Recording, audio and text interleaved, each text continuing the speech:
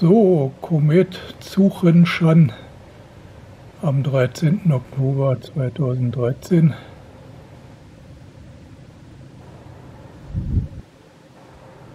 Ja, genau, die Wolke, genau.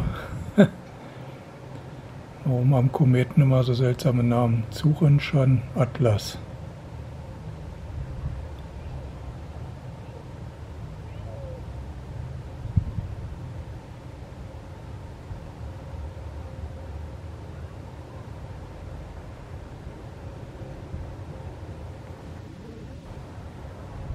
Da ist er.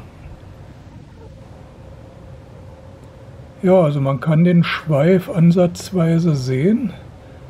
Ich konnte schon 40 Minuten nach Sonnenuntergang im Feldstecher gut erkennen.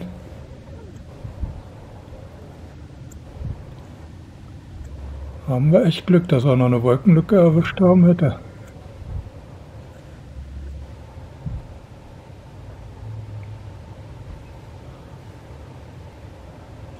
Suchen schon Atlas.